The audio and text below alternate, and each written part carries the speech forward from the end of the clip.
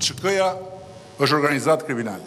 Një organizatë kriminale që nuk ka ende autorë të identifikuar, por që nga kjo e hënë qeveria shqiptare i ka shpallur luftë. Siç kishte paralajmëruar, kreu i qeverisë prezantoi një paketë të posaçme për goditjen e kësaj lidhjeje. Është një organizatë kriminale gjykatësish dhe prokurorësh që janë shërbëtorë, bashkëpunëtorë ose edhe tutorë të krimit të organizuar. Dhe si për të ilustruar lidhjet me krimin kreu i qeverisë solli në vëmendje rastin e prokurorit Arjan Ndoja për të cilin tha se ishte në makinë me një person të botës së krimit.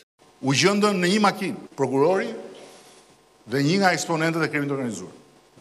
Dhe në bagazhin e makinës dokumentat e vjedhura të Prokurorisë. Duke sjellë në vëmendje formularin e pastërtisë së figurës që duhet të plotësojë çdo zyrtar, kryeministri propozon që të dënuarit për krime të rënda, apo edhe ata të cilët janë akuzuar por nuk janë dënuar, të deklarojnë pasuritë dhe të ardhurat e tyre.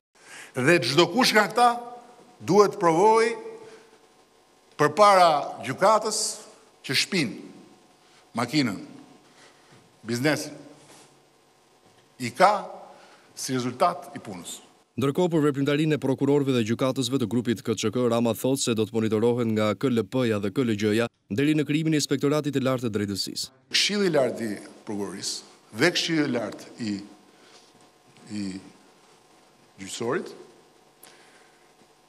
të marrin masë për pezullimin dhe inspektimin lidhur me anëtarin përkatës të kësaj organizate kriminale. Dhe si fillim Rama dha disa detaje nga këto masa që nisin me ngritjen e një njësie antikorrupsion.